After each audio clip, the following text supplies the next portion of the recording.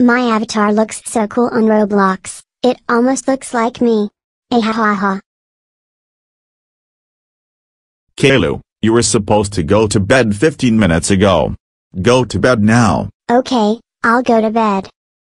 Wow, thank you Caillou. I, so don't, want to go to bed. I never, get, that much free time to myself. Heck, I only got to play Roblox for an hour. Daddy never should have trusted me enough to put a lock on my door. I'm going to pull an all-nighter.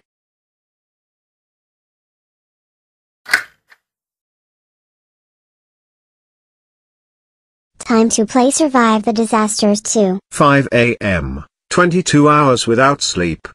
Wow, I've got a 40 survival streak. Oh no, the disaster is press the button. God damn it. Some guest pressed the button and ruined my streak.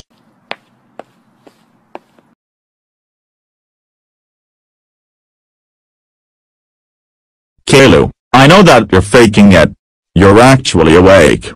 How did you know?